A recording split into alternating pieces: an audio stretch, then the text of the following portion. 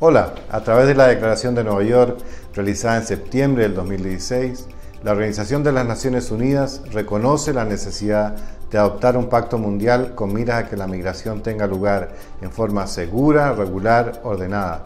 Te contamos más en este video. Actualmente hay más de 250 millones de migrantes internacionales y muchos de ellos están sujetos a enormes vulnerabilidades. En lo que va del año 2017, más de 2.700 migrantes han muerto en tránsito en todo el mundo. Esta es una de las razones por la cual es tan oportuno e importante el Pacto Mundial sobre Migración.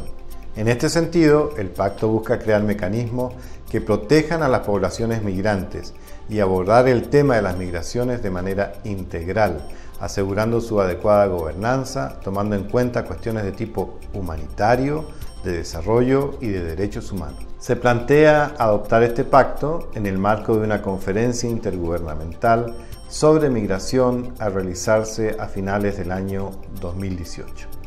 Así, el Pacto Mundial ofrece una oportunidad histórica para que la comunidad internacional acuerde los principios, entendimientos y compromisos mínimos necesarios para que la migración en todo el mundo se desarrolle en forma ordenada, regular y segura.